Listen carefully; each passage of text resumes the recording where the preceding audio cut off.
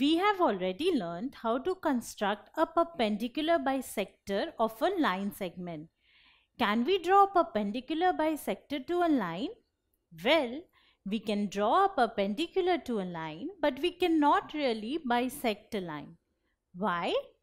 Because in order to bisect a line, you must know the measure of the line so that you can divide it into two equal parts. But we know that a line extends indefinitely in both the directions. That is, it goes till infinity. Thus, we do not know the actual length of the line. So, there is no way in which we can know the half of the measure of a line. So, we cannot bisect a line.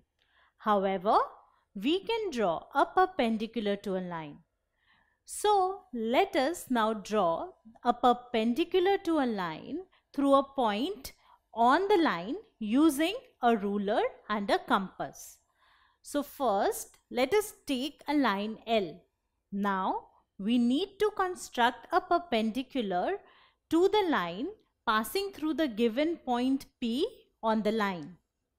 In order to do that, we first take a convenient radius on our compass that is any convenient radius neither too big nor too small on our compass and with P as the center we draw an arc intersecting the line L at two points. Let us call these points of intersection A and B. Thus, we now have a line segment AB of length twice the radius of the arc that we took on the compass. And we can draw a perpendicular bisector to it. Now since we draw the arc from P without changing the radius, this means AP equal to BP. That is, P is the midpoint of the line segment AB. So, if we draw a perpendicular bisector to the line segment AB, it will pass through P because P is the midpoint and it will also be perpendicular to L, which is what we want. So let us do that. Let us take point A as the center and radius more than half the length of line segment AB. We draw an arc from A on one side of line L. Now with B as the center and the same radius as before, we draw an arc from B such that it intersects the previous arc. We call this point of intersection as Q. Normally, we would draw arcs on both sides of the line segment AB, but since we already know one point on the perpendicular bisector, which is P, we don't need to do that now. Join PQ and extend it on either side to form a line which would be perpendicular to line L. We call this line M. So line M is perpendicular to line L. Now let us check with a protractor.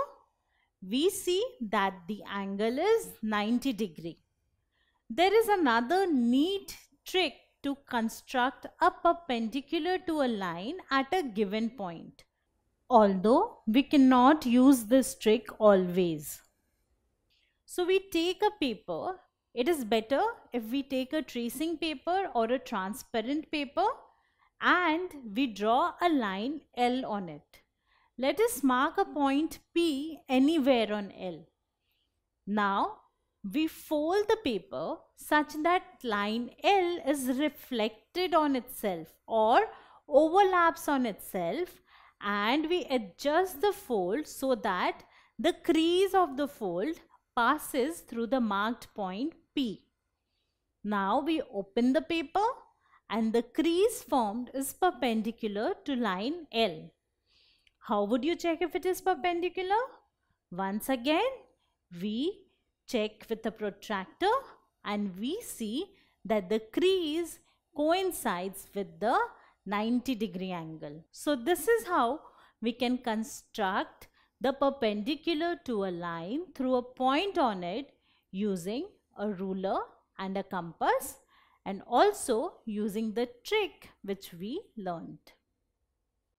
If you like this video, then subscribe to our channel. You can also register for free at deltastep.com to get all the learning resources as per CBSE, ICSE, IB, Cambridge or any other curriculum. Over 5000 amazing lectures on maths, science, English and social science. Our unique interactive video technology keeps you engaged and our iDictionary feature allows you to quickly revise any concept. Master each topic at your own pace with our adaptive practice technology and 1 million plus questions. Get instant answers and detailed solutions.